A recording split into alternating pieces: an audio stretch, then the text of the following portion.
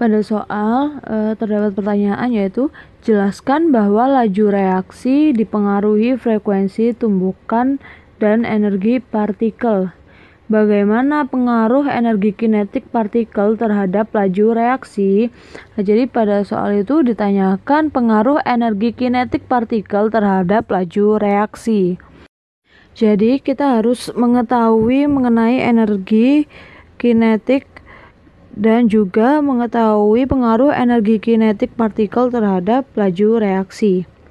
Jadi, pada suhu yang tinggi, partikel-partikel yang terdapat dalam sebuah zat akan bergerak atau bergetar jauh lebih cepat daripada dalam suhu rendah. Karena hal itu, apabila terjadi kenaikan suhu dalam sebuah reaksi, maka partikel-partikelnya akan bergerak lebih cepat sehingga energi kinetik yang ada dalam partikel akan meningkat.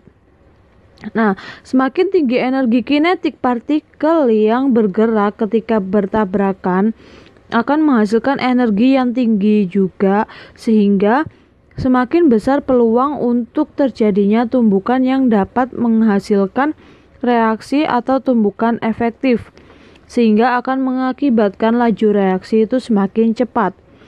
Dengan demikian, kenaikan suhu itu dapat mempercepat laju reaksi karena dengan adanya kenaikan suhu, maka energi kinetik dari partikel zat-zat akan meningkat sehingga memungkinkan semakin banyaknya tumbukan efektif yang menghasilkan perubahan dan laju reaksi juga akan semakin cepat.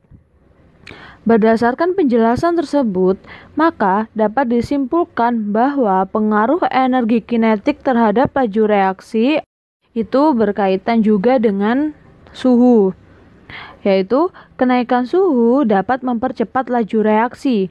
Karena dengan adanya kenaikan suhu, maka energi kinetik dari partikel zat-zat itu juga akan meningkat, sehingga memungkinkan semakin banyaknya tumbukan efektif yang menghasilkan perubahan dan laju reaksinya itu juga akan semakin cepat. Jadi intinya itu pengaruh energi kinetik terhadap laju reaksi adalah e, semakin tinggi atau semakin besar energi kinetik yang diberikan maka mengakibatkan semakin banyaknya tumbukan efektif yang terjadi sehingga e, membuat laju reaksinya itu berjalan semakin cepat.